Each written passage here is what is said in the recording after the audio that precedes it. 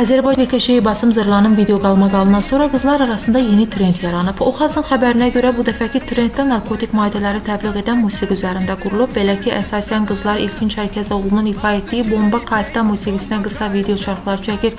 Həmin görüntüləri sosial şəbəkələrdə, xüsusən də Instagramda yayımlayır. Onların videoları sosial şəbəkələrdə ciddi mənfi reaksiyaya səbəb olub.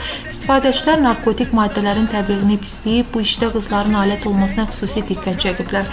Qeyd edək ki, bir müddət əvvəl analoji hadisə yaşanmışdı. Belə ki, qızlar arasında məşhurlaşan Kazbekə Şeybasım Zırlanın musiqisinə çəkilmiş videolar cəmiyyətdə ciddi narazılıqla qarşılanmışdı.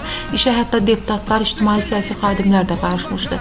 Böyük ictimai qınaqdan sonra musiqisində narkotiki təbliğ edən Vüqar Səlah həbs edilmişdi.